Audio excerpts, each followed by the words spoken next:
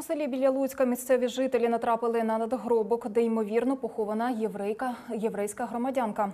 Про знахідку містяни повідомили єврейську громаду. Тому рештки все ж вирішили поховати згідно єврейських традицій. Тим паче, що міська влада посприяла, щоб це відбулося у знаковому для усіх євреїв місті. У селі Струмівка місцеві жителі знайшли на своєму подвір'ї надгробний пам'ятник із написами. Уже згодом з'ясувалося, що належить він єврейській жінці. У ідентифікації пам'ятника допомогла єврейська громада Луцька. Аби вшанувати пам'ять померлих сьогодні надгробок привезли на єврейське кладовище. Е, завдяки е, дуже вісомій е, підтримці помічника міського голови Ігоря Ігоревича.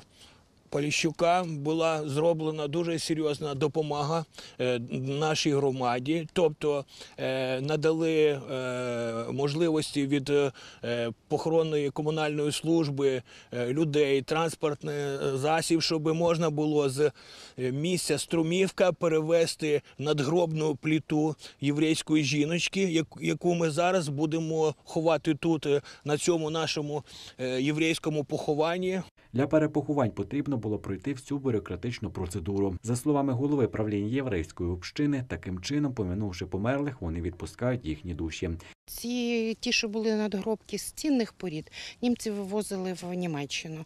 А такі більш простіші надгробки використовували як фортифікаційні споруди.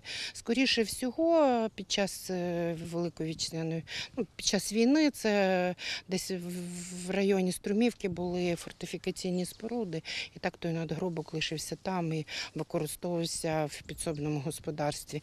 Яку він функцію виконував, е, я не можу сказати, бо ми не, не визнавали, не, не взнавали історію. Але то, що він на тому подвір'ї пролежав десь 30 років. Місяць тому відбулося перепоховання восьми нікому невідомих людей в знаковому для єврейської громади місці на цьому ж кладовищі. Саме тут під час Другої світової війни за п'ять днів розстріляли майже 16 тисяч осіб. Усі кроки щодо вшанування померлих відбулися завдяки активній підтримці міської влади.